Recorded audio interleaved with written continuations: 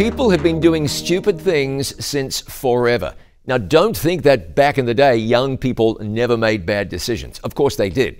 But you do have to wonder if society is on a downward spiral, almost circling the drain. There's real concern today about the behavior of tourists, not just people on passenger planes who are acting badly more often than ever, but tourists like the British man who carved his and his girlfriend's initials into the Colosseum. A few months later, a girl from Switzerland did the same thing. A Canadian tourist carved his name into a pillar in a 1200 year old Japanese temple. An Irish tourist climbed a statue in Brussels and caused $19,000 in damage. Amsterdam has an advertising campaign aimed at young British men called Stay Away. Some of the silly stuff is done for social media, internet idiocy at its best. But there's a lack of common sense, responsibility, and maturity that's breathtaking.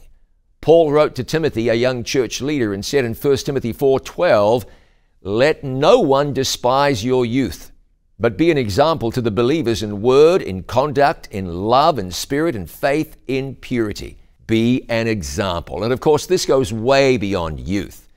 While you wouldn't think a 75 year old would carve their initials into a World Heritage Site, that person might be grumpy. That's bad behavior, not an example to the believers. The 40 year old fooling around on their spouse, bad behavior. A poor example reflects on society or on the church, and it reflects on yourself.